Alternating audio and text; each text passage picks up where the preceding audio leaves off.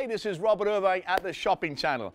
And one of the most common questions I'm asked is, how can you put food all together so fast and nutritious? Simply, it's all about planning. We call it mise en place.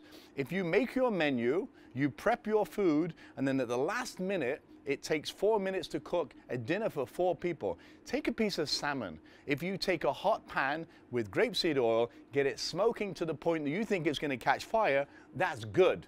You put your salmon in, it takes three minutes either side, your salmon is cooked, you set it aside, and the rest is history. Great food, simply done with great ingredients.